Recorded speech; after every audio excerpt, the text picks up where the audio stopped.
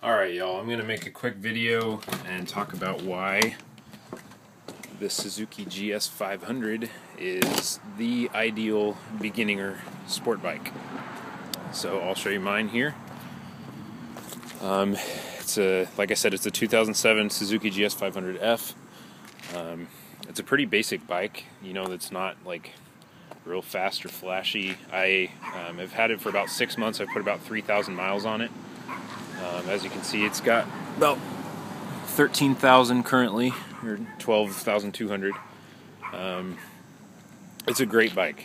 Um, I've definitely been enjoying it.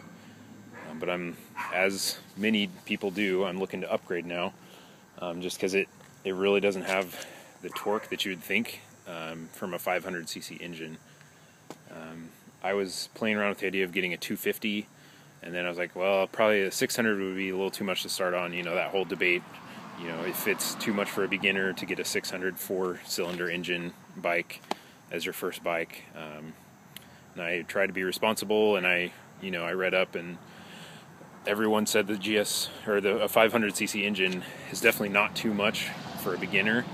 Um, but at the same time, you won't get bored and want to upgrade in four months of having, you know, of riding the bike. Um, so in my experience, um, I'm a pretty big guy. I'm like 220 pounds, six foot one, um, and this thing just, I don't know, it it does the job, but it just doesn't have the acceleration, um, and it just feels like it has to work extra hard to you know to do even basic basic stuff. Um, so my other purpose for this video is that I recently um, tried a uh, Triumph Street Triple, a 2013 Triumph Street Triple. I just took a test ride of it this morning, and holy cow, it's just a whole nother whole nother story. Um, so this, the only bikes that I've ridden are the GS500.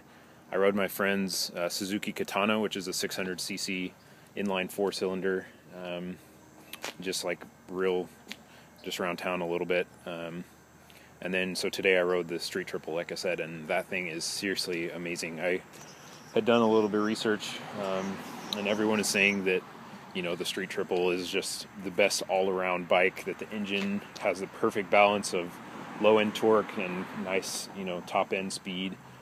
Um, and man, that thing was so smooth. Like, it was just so responsive. It hardly even felt like I was on a motorcycle. It just felt like I was floating along, like on the road. It was pretty amazing.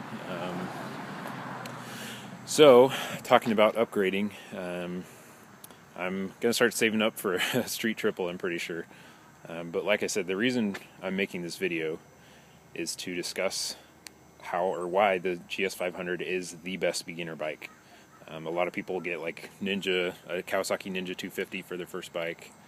Um, and I can't, you know, really say much because I've never ridden a 250, but just comparing or just going off of my experience with the Suzuki GS500, um, it's really the ideal beginner bike. It's dirt cheap. I bought mine for $2,200 on Craigslist, um, which is, I mean, you can look around and that's not much. You can't find like a decent Kawasaki Ninja 250 for less than that. You know what I mean? Maybe like 1500 for a real beat up one. Um, but in general, I mean, I probably could have got it for like 2000 um, and it, it, was laid over once, but it's in pretty good shape.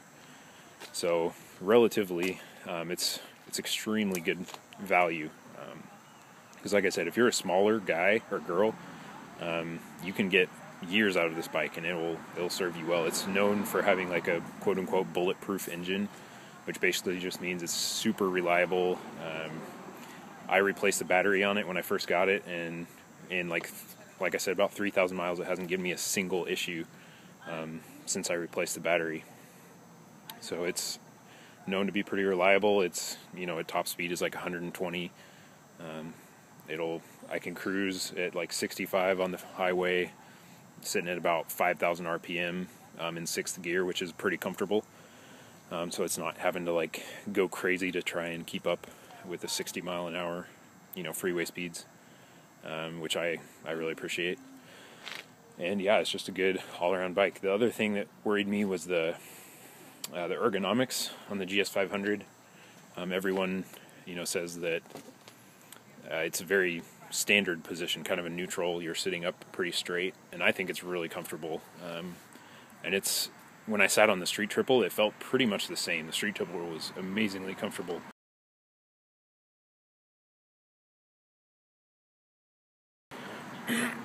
Excuse me. So yeah, that's the other thing is it's a very beginner friendly, just the ergonomics, the speed, um, the reliability, and the value all together. I mean that is the beginner's bike. So I'm like I said, I'm very happy with it. Um, but man, that the street triple just engine smooth as butter. It's so responsive. That's one thing I don't particularly like about the Suzuki, and maybe it's just mine. Um, but the engine, especially if you're pulling from low revs, like around two or three thousand, it just feels real clattery and like rough. Um, like I said, the acceleration's not fantastic. Um, so just having that, I mean, the Street Triple is smooth as butter. It just purred nice and clean from you know one or two thousand RPMs all the way up into the. I think I only got it to about eight thousand. It red lines at like thirteen. Um, but yeah, they're both great bikes. Um, I talked to the people at the dealer, and they were saying, you know, I have, I was like, I have this piece of crap Suzuki GS 500, and I'm looking to upgrade. And the guy in the shop was like, no, dude, the GS is a good bike. Um, and like I said, its reputation is for being very reliable and definitely a great value. Um, I guess that's about it. But if you're thinking about getting a bike, honestly, I would say, no matter, you know, if you're a girl, a 30 year old guy that wants to get into it, or you know, whatever, college student. Um, the GS500 is an excellent starter bike for sure. Um, and then the Triumph Street Triple, I've more or less fallen in love with, so I hope to be getting one of those by next season, probably in the next year or so. Um, so yeah, if you guys have questions, I'd love to talk about it in the comments. Um, I'll give you one more look at my uh, GS500 here. But yeah, thanks for watching. Here's some of the damage um, from when it was laid over by the previous owner. Nothing real serious. Um, but yeah, it's very, very good seating position and it's pretty comfortable. I did actually ride with one of my friends on the back, and um, the suspension is the other thing that I don't really like on the GS because it, with me, and I mean, she doesn't weigh more than like 130 pounds probably, but it like bottomed out the suspension and especially the front suspension just feels really really rough. Like if you go over a a curb or whatever, it'll just slam. Like it, there's no give at all, and no cushion. It just feels like you're ramming into the ground. Um, anyway, I'll talk to you guys later.